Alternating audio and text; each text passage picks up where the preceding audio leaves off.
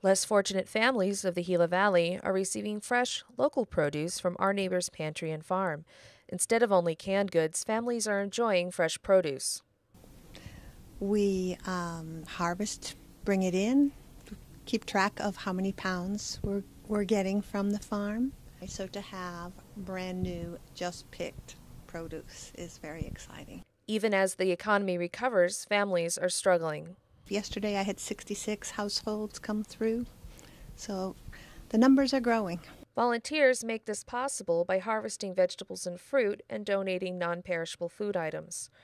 This year, more than 50 volunteers will harvest 20,000 pounds of fruit and vegetables to feed 500 plus families who rely on the food pantry. Our neighbor's pantry and farm is located at 1020 South 10th Avenue in Safford and is open on Tuesdays and Thursdays from 10 a.m. to 3 p.m.